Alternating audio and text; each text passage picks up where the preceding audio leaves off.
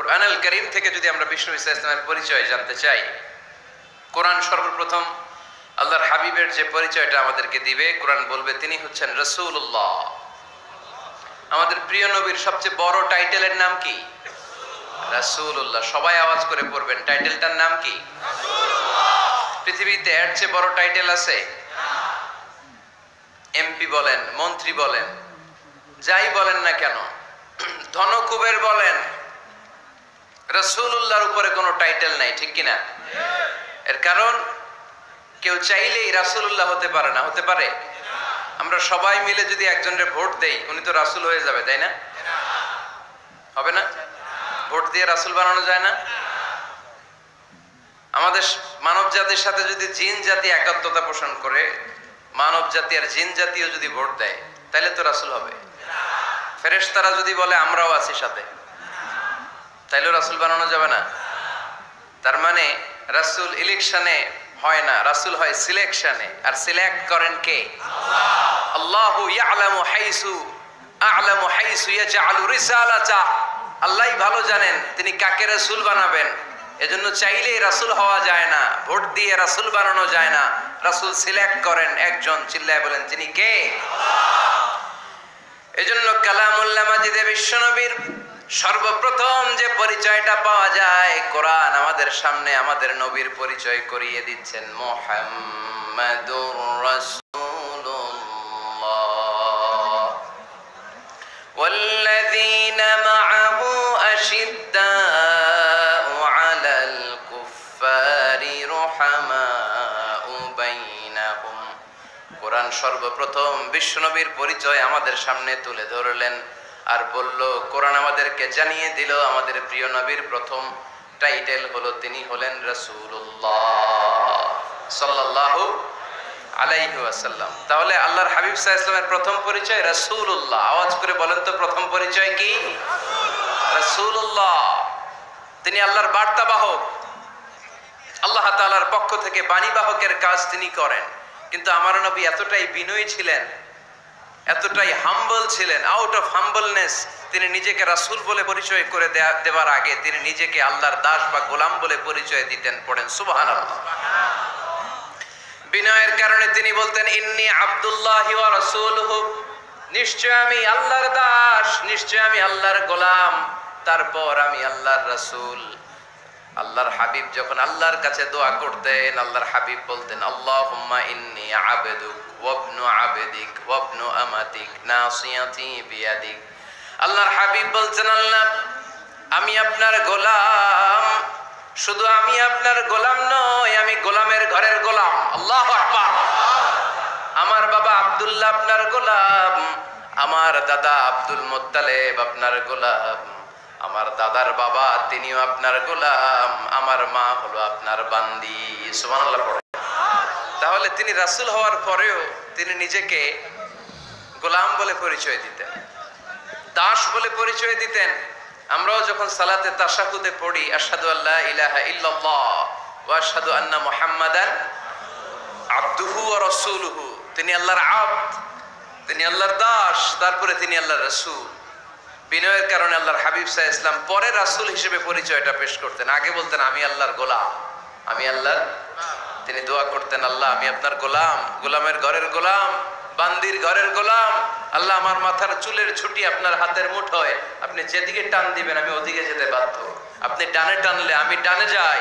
আপনি বায়ে টানলে আমি বায়ে যাই। যেখানে নিবেন, আমি ওখানেই যেতে বাধ্য। ঠিক কিনা আউট অফ হাম্বলনেস বিনয়ের কারণে। কি বিনয়ী ছিলেন বিষ্ণু ইসা ইসলাম? তিনি আল্লাহ রসুল। তারপরেও তিনি পরিচয় দিতেন আল্লাহ আমি আপনার গোলাম। আওয়াজ করে পড়েন সুবাহান আল্লাহ তাহলে প্রথম যে পরিচয় কোরআন আমাদেরকে দিল সেটা হচ্ছে আমাদের প্রিয় নবী ছিলেন রসুল্লাহ আওয়াজ করে বলেন পরিচয়টা কি? এর চেয়ে বড় পরিচয় হতে পারে? হতে পারে? দ্বিতীয় পর্যায়ে কোরআন আমাদেরকে জানাচ্ছে যে তিনি শুধু রসুল্লাহই নয় তিনি শুধু আল্লাহ রসুলই নন তিনি হচ্ছেন শেষ রসুল। তিনি হচ্ছেন শেষ নবী। তিনি ওনার পরে আর কোন নবী আসবে? চিল্লায় বলেন হায়দারগঞ্জের একজন যদি ঘোষণা দেয় আমি নবী। কি করবেন? একজনকে মায়ের কারে কয় হ্যাঁ? কি করবেন আপনারা? কি করবা? মাই। আইজো মায়ের কাইলো মায়ের। মায়ের উপরে ওষুধ নাই। ঠিক কিনা? আল্লাহর হাবিব সাহ ইসলাম, তিনি ছিলেন শেষ রাসূল।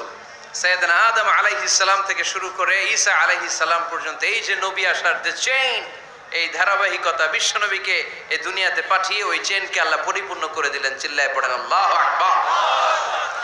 এজন্য কোরআন আমাদেরকে বলে, মা কানা মুহাম্মাদুন আবা আহাদিম মির রিজালিকুম, ওয়ালাকিন রাসূলুল্লাহি ওয়া খাতামান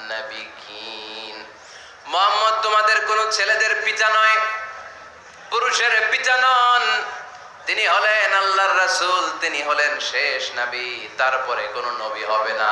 ঠিক কি না এজন্য আল্লাহর হাবিব বলতেন, লা নবিয়্যা বাদি, আমার পরে কোনো নবী নাই। ওয়ালা রাসূলা, আমার পরে কোনো রাসূল নাই। তবে লাউ কানা বাদি নবিয়্যুন লাকানা উমর। তবে আমার পরে যদি নবী হওয়ার যোগ্যতা কারও মধ্যে থাকে, আমার কলিজার টুকরা সাহাবা ওমরের সেই যোগ্যতা আছে। প্রভু তুমি বলেছ, রাসূল দেবে না। বলনি দেবে না ওমর, বলনি দেবে না হামজাতারি খালিদ বিজয় সমর। প্রভু তুমি বলেছ, রাসূল দেবে না। বলনি দেবে না ওমর, বলনি দেবে না হামজাতারি খালিদ বিজয় সমর। প্রভু তুমি বলেছ রাসূল দেবে না, ঠিক কি না? আল্লাহর হাবিব বললেন, আমার পরে কোনো নবী নাই, আমার পরে কোনো রসুল নাই। তবে আমার পরে যদি নবী হওয়ার যোগ্যতা কারও থাকে, ওমরের সেই যোগ্যতা আছে। পড়েন আল্লাহর হাবিব সাহা ইসলামের জামানায় এক লোক নবতী দাবি করেছিল। ওর নাম ছিল মুসাইলামা। নাম কি ছিল? নাম শুনছেন না আপনারা? এসে নবুয়তির দাবি করে বলে ইয়া মুহাম্মদ আর নবুয়াতু নিসফুন লাকা ওয়া নিসফুন লি। নবুয়ত তোমার অর্ধেক আমার অর্ধেক আমার অর্ধেকটা আমার বুঝায় দাও। নাউজুবিল্লাহ পড়বেন না? আল্লাহর হাবিব বললেন কি নাম তোর? এই বেয়াদবটা বলল আমার নাম মুসাইলামা। আল্লাহর হাবিব বলেন, আজ থেকে তুই শুধু মুসাইলামা নয়, আজ থেকে তুই মুসাইলামাতুল কাজ্জাব মিথ্যাবাদী, ভণ্ড মুসাইলামা। ঠিক কিনা? এই বেয়াদবটা বিশ্বনবীকে কপি করত। আমার নবী যেমন যেমন করতেন, ও তেমন তেমন করত। আল্লাহর হাবিব সাহ ইসলাম মদিনার নবজাতক শিশুদের মাথায় হাত বুলিয়ে দিলে বাচ্চাদের মাথার চুল বড় হয়ে যেত। এই বেয়াদবটাও কপি করে, অনুকরণ করে তার এলাকায় নবজাতক বাচ্চাদের মাথায় হাত বুলিয়ে দিত। কিন্তু চুল বড় হওয়া তো দূরের কথা। যেই বাচ্চার মাথার তালুর মধ্যে এই বেয়াদবের হাত লাগছে, ওই বাচ্চাগুলোর মাথা আজীবন ছিল টাক মাথা। কোনো চুলই গজায় নাই। আল্লাহর হাবিব সাহা ইসলাম লোনা পানির কুয়ার ভেতরে কুলি করে ফেলে দিলে ওই কুয়ার পানি মিঠা পানির কুয়ায় পরিণত হয়ে যেত। আর এই বেয়াদব মিঠা পানির কুয়ার মধ্যে কুলি ফেললে ওটা লোনা পানির কুয়া হয়ে যেত। আল্লাহর হাবিব সাহা ইসলাম দোয়া পড়ে গাছের মধ্যে ফু দিলে গাছের ফলনে পাম্পার ফলন হতো। আর এই বেয়াদব কোন গাছের মধ্যে ধরলে মুহূর্তের মধ্যে ওই গাছ মরে যেত। তার মানে নবীর সাথে বেয়াদবি করেছে, ঠিক কিনা? আল্লাহর হাবিব সাহা ইসলামের পরে আর কোন নবী আছে? মির্জা গোলাম আহমদ কাদিয়ানি, নাম শুনছেন? শোনেন নাই কে কে? হাত তোলেন তো। সবাই শুনছেন? এই বেয়াদবটাও কাদিয়ান এলাকার লোক, সেও নবতির দাবি করেছিল।